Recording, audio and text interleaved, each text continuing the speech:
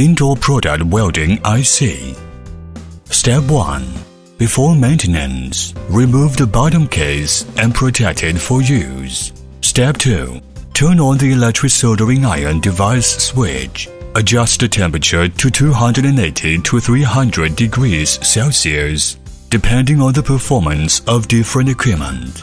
Step 3. Pick up the tweezers with your left hand and pick up the chip. Adjust the chip direction to be consistent with the direction of other chips on the circuit board. Step 4. Align the IC pins with the pad pins. First, fix the first and last pins on the right side.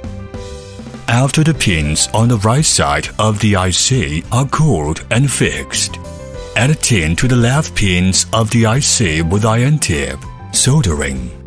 Step 5.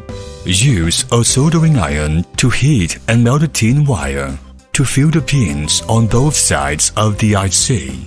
Step 6. Use left hand to pick up the PCB board and use a soldering iron tip to align the pins on both sides of the IC to slide the solder. Pay attention to check for short circuits, invarious soldering, force soldering, floating height, displacement, and etc. to complete the soldering. Step 7.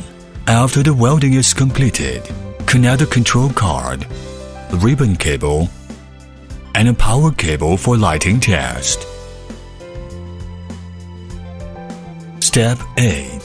After the test is correct, the residue on the welding place should be cleaned with detergent.